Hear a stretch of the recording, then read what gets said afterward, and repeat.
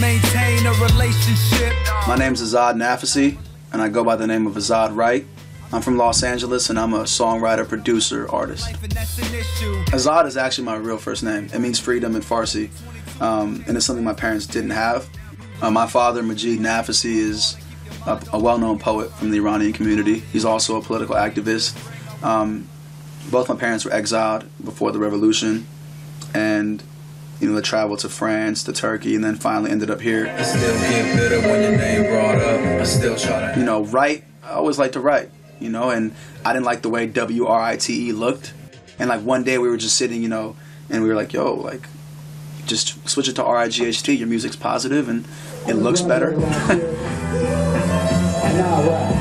my father, you know, definitely has a big influence on my life. I wouldn't necessarily, you know, say that he's the reason that I do hip hop, but definitely because of him, you know, I've been very interested in reading and writing from a young age. I started writing my own music, my own raps, um, to be specific, in ninth grade, so I was 13 years old. I say I need space and you try to get closer. Some of the topics I talk about in my music, um, you know, family issues, things that are going on in my current life, relationship problems. Anymore.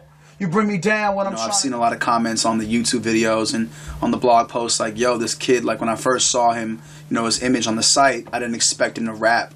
I can't maintain a relationship. Uh, tons of people have come up to me and, and been very proud that, you know, I've been able to break that barrier down.